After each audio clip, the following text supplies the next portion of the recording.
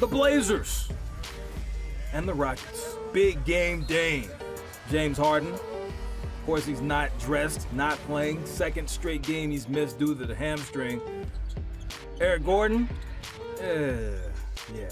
He was 4 for 18. CP3. Uh, he was 6 for 19. Melo.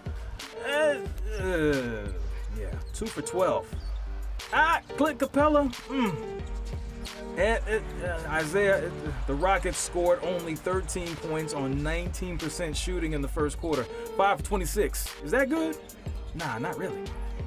He's good. First team All NBA. Big game Dame and one. He would make the free throw. Portland up by seven. Backcourt mate, scorching. CJ, floater off the glass, 19 points. Portland up 51 36. Blazers, feasting in the paint. Nurkic. More Dame. Nice. Nurkic had 22 points, 10 rebounds, only missed three shots, 7 for 10 on the night. Lillard, 22, 8 for 10, 7 assists, and a layup right down Main Street. 85 points for the Houston Rockets.